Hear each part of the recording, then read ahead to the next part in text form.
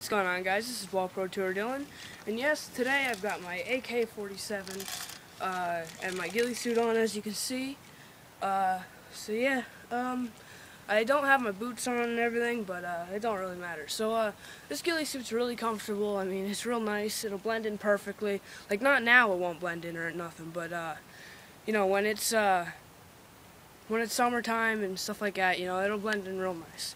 So here we go. We'll start this out on, uh, I don't know, semi-auto. You ready? Let's do this.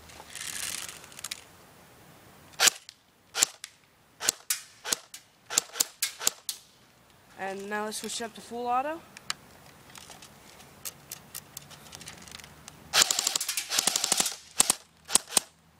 Alright, so uh, as you can see, this is a high cap magazine right there because you got to wind it and everything. Uh, I got the sling. I'm not really recommending you use it, but you know, it's not going to hurt. So uh, yeah.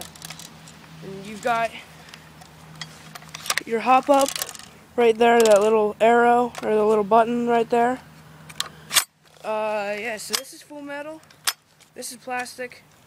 Metal, metal, metal, plastic. I'm going to get this off here in a minute uh, metal clip, except for the inside. The inside is plastic. Plastic, plastic, metal, metal, metal, metal, metal, metal. Uh, this is plastic, I think.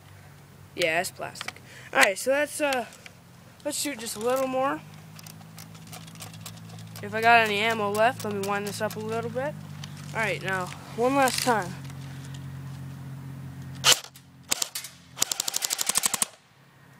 Alright, guys. So, this is Ball Pro Tour Dylan with my AK-47 ghillie suit, and uh, peace out.